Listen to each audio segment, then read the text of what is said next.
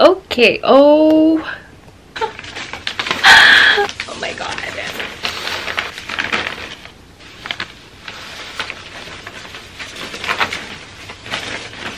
Okay, um, hello everyone, it's Aurora Mystic here. Welcome back to my channel. As you can see, I am in scrubs today.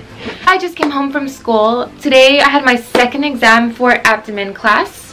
Uh, it was pretty tough. It was a lot harder than my first exam. I believe in myself. I'm just crossing my fingers, praying to God that I pass.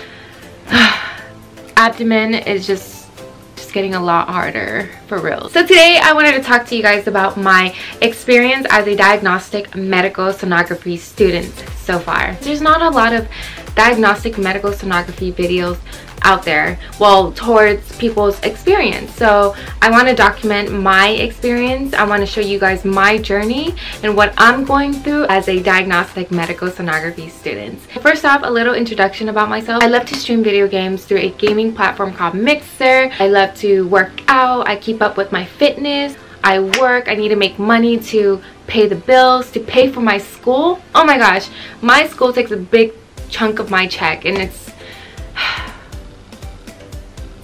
I have credit card bills I have to pay off. I have rent. Whew. I have to keep up so much going in my life while going to school full time Monday through Fridays every single day. Wake up early in the morning 6 o'clock a.m. sometimes at 5.30 a.m. I have to study my ass off. I'm surprised I'm not dead yet. It is hard. Life is hard been challenging. Anyways, enough about that. Let's get into where I'm at at the program. So right now, I'm on my third module. I am learning about abdomen. Two weeks ago, I just got done practicing my liver protocol. I got an A on it on my liver protocol exam. Proud of myself.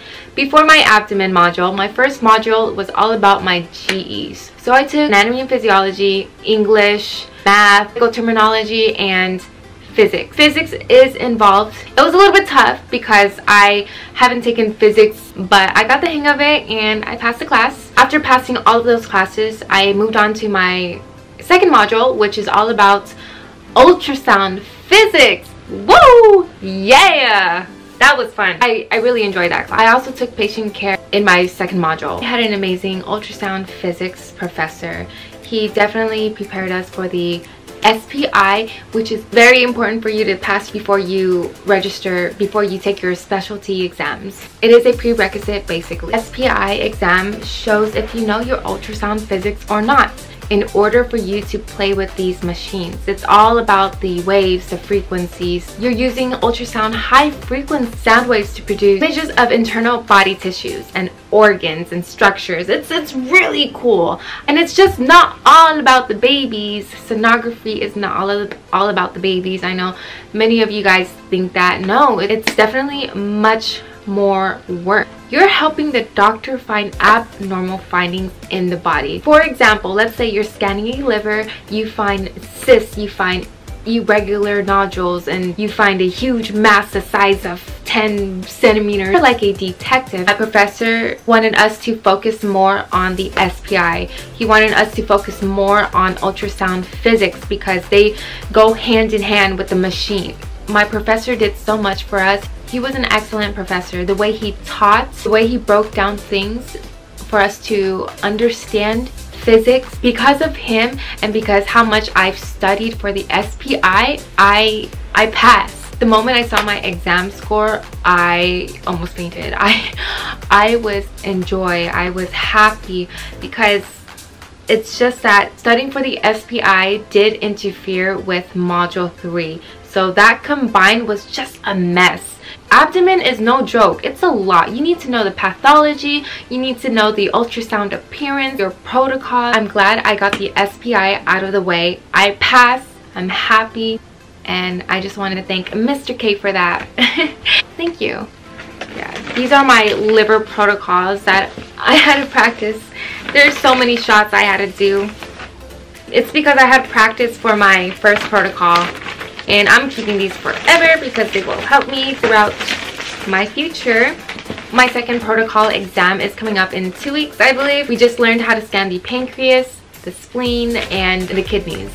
Really cool. It is a two-year program. I have two more modules left. Module 4 is going to be OB and Module 5 is going to be vascular. Ooh. So each module in my school is about 12 weeks. July of next year, that's when I'm going to start my externship. Holy crap. I'm going to be working with patients. Real patients. That's intimidating. We're not even there yet and I'm freaking out right now. Sometimes I stay after school two or three times a week just to practice with my scanning. That way I don't forget because when it comes to externship, I do not want to forget my protocol. My last thoughts. Mm. It's definitely getting harder. Me going through all of this, make money, trying to pay bills and this and that, spending time with family, going to school every day, Monday through Fridays. I'm surprised I have not gone crazy. What I don't do from doing all of that is I don't stress. The more I stress, the more I freak out, the more I hyperventilate, the more I overwhelm myself, the more sad I get when I stress. I get emotional when I stress and I don't want to do that. I don't want to put a burden on myself. So I don't know how I do it. I just I guess it's just the way I am. I'm a happy person. I like to think positive. I stay optimistic. I'm always smiling. And sometimes through hard times, I just move on, go through it because life is too short to stress out over anything and I just want to enjoy my life. The more you stress, the more negativity. I am putting myself through hell for two years. But you know what? In the end, it's going to be worth it. Importantly, I'm going to help people people in need, people who are sick, people who need the care. I'm ecstatic about my career. I hope you guys enjoyed listening to my experience so far as a sonography student. It is a growing field. Not a lot of people know what this job is. Every time people ask me what I'm going to school for, I say diagnostic medical sonography. And they're like, mmm, sounds fancy. What is that? In easier terms, I say ultrasound and they're like, oh, so you get to scan babies. I'm like, yeah, that. but hey, it's much more than scanning babies. Much more, way more. It's a really cool field. I'm enjoying it so much. I can't wait to be a sonographer in the future. I hope you guys enjoyed listening to my experience so far. Um, this is definitely going to be a journey. I'll try to upload more videos on sonography. If you guys have any more questions about my experience, about the school, just anything sonography, comment below. Thank you, thank you. Thank you so much for watching. Please don't forget to like and subscribe. I'll see you guys in my next video. Woo! Bye! Goodbye!